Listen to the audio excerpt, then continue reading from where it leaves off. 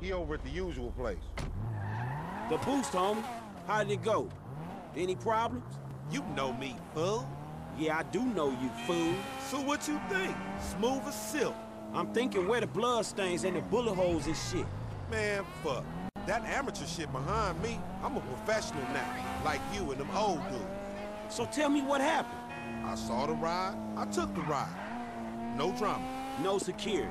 No one saying, who the fuck is this gangly motherfucker doing in my car? Man, I just jacked this thing.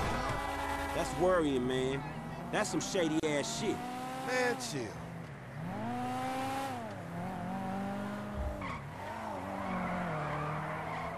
Be careful.